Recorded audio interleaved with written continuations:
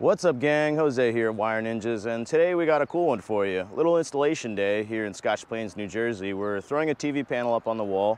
We're relocating a bunch of low voltage circuits and equipment as well.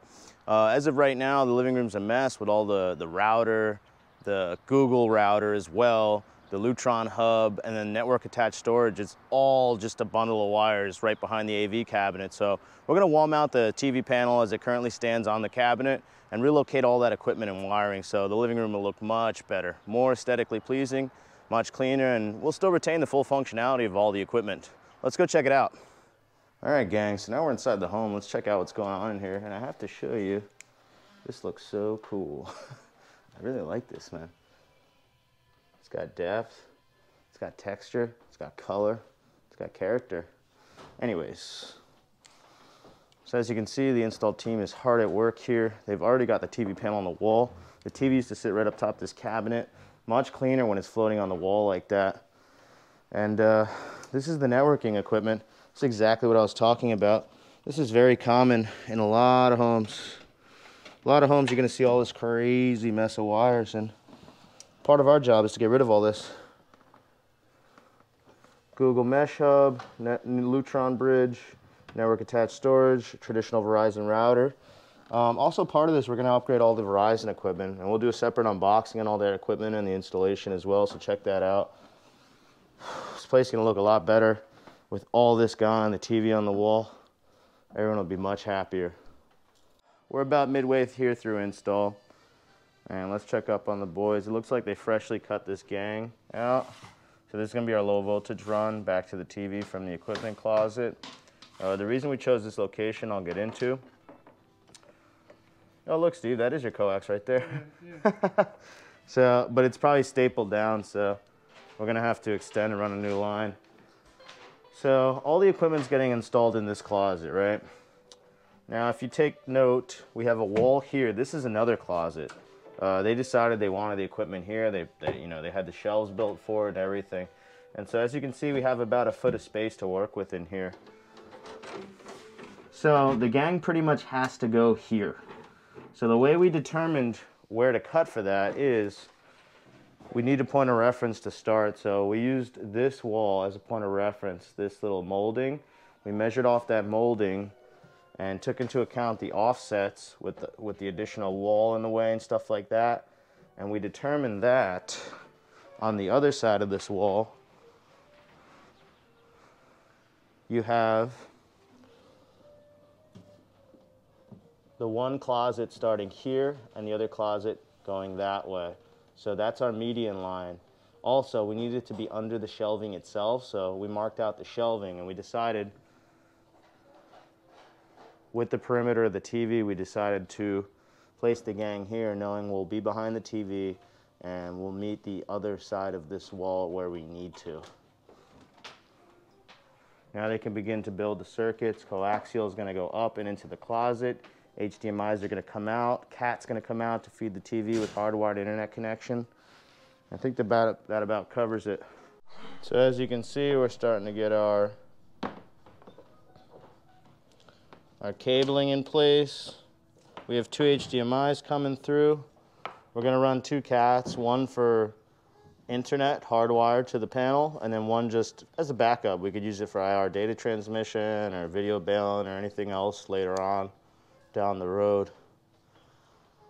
Um, after all the wire runs are complete, we'll, we'll plate this. You know, we'll get our gang in, our low voltage gang and our plate, nice little brush plate. And we'll throw the panel back all on the wall. And then the rest of the work is going to take place in the cabinet, wiring in all our equipment. As you can see, Steve's starting to route power. We're going to route power first, and then we'll start throwing equipment in here. All right, gang, we are completed here on installation. So let's take a look at the work that was completed. Now, last you saw this space, there was a real big mess of wires. The TV panel was located on the AV cabinet. We installed it on the wall, wall mounted it with uh, Sanus VLMP50, which happens to be my favorite standard tilting wall mount. The mount's awesome.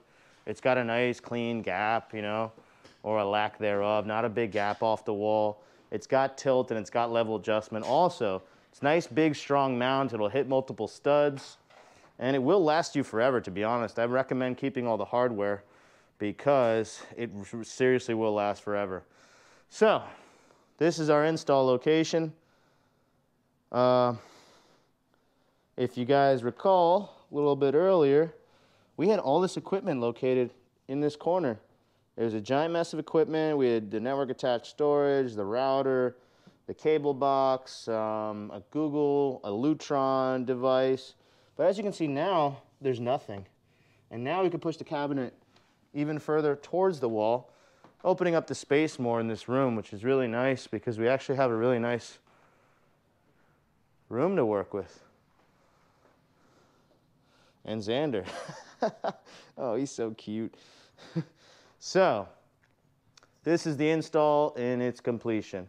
We'll take a look at the equipment closet too. And one thing to note is, I kind of like to push for sound. I'm an audio guy. I really, really, really like audio. Of course, video as well, but there was no sound solution in here. So I started recommending Sonos equipment. Thinking about the ARC, but we settled on a Beam, which isn't a bad choice.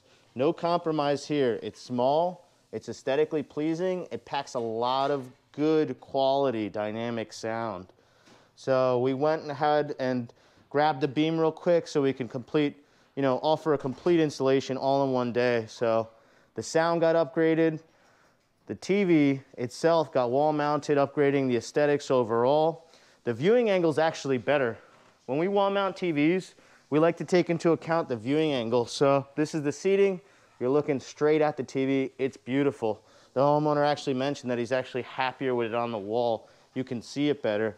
And because it's further back now, you get more viewing of the surface. You know, you get you capture more of the surface. You can see it better overall. So upgraded the audio.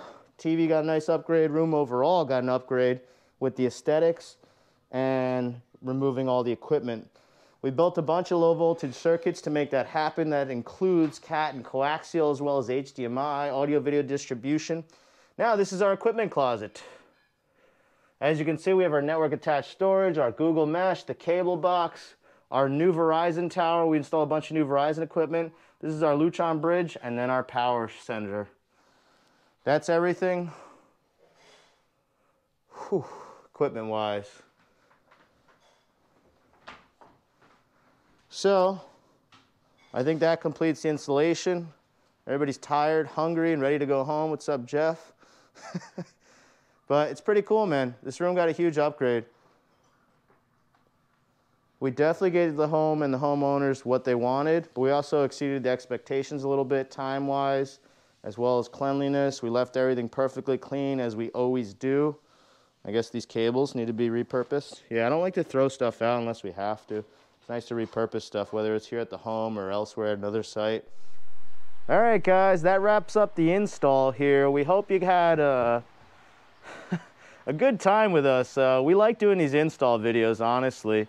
Uh, it, it's pretty cool because it, it really shows off what we do, how we do it, and what time frame we could do it in. Also, if you're a do-it-yourselfer, I hope it helps you in any way possible. Um, part of this, this whole series is to offer help, you know, not just to show off what we can do, but also help you guys in any audio video endeavors you may have. So we're hoping to put out a lot more content of like this, as well as other types. Uh, we're gonna get pretty in depth on some other stuff, you know, calibration, stuff like that, the use of tools, the termination of cables and stuff like that. So check us out and we'll see you on the next one.